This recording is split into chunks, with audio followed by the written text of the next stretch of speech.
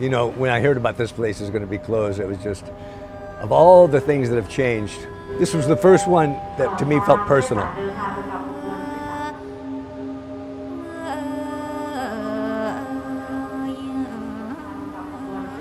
You know, I started doing the Lonely Planet Guide in 1981, and I just thought the place was amazing. I think it was the first overnight train trip I'd ever taken anywhere. People are going long distances. It's just, it is the place. It's, the, it's where it all happens. Suppose you're taking a train just for sightseeing purposes. Having that train leave and arrive at Hua Lamphong would just add so much ambience, let's say atmosphere, nostalgia, romance, and all of that. It's funny, I tell people I take the train, they're like, what? Why don't you just fly? It's so much faster.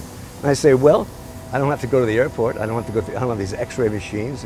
And uh, you know, you just feel like a criminal going to the airport all the time. I just you know, constantly being checked. And I love the train. You go to the train station, just get on the train, and it feels like a nostalgic way to travel. I love the sound, you know.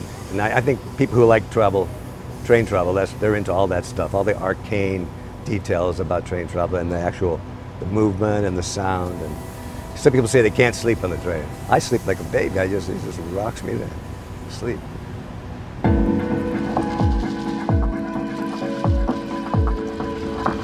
Yeah, so after the uh, Italian architects designed it, it was constructed, opened in 1916. What do they call it? Neo-Palladian, I think, is the architecture.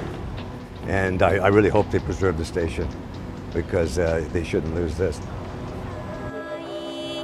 Absolutely, this is the busiest station in Southeast Asia. There's nothing that comes close.